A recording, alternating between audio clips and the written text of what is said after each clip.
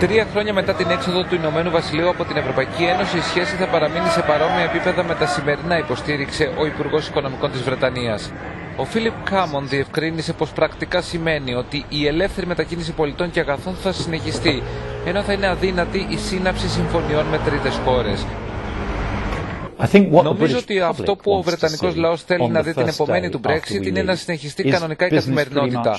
Όλοι περιμένουν να πάνε κανονικά στο σούπερ μάρκετ και να βρουν γαλλικά και ισπανικά προϊόντα στα ράφια. Αναμένουν ότι θα πάνε στο αεροδρόμιο, να μπουν στο αεροπλάνο και να μεταβούν στον τουριστικό τους προορισμό στην Ευρώπη όπως συνήθως.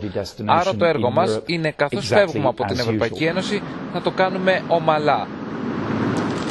Οι επικεφαλείς διαπραγματευτές των δύο πλευρών θέλουν να επισπεύσουν την οριστική συμφωνία μέσω συχνότερων συζητήσεων ώστε να επιληθούν τα κρεμή ζητήματα.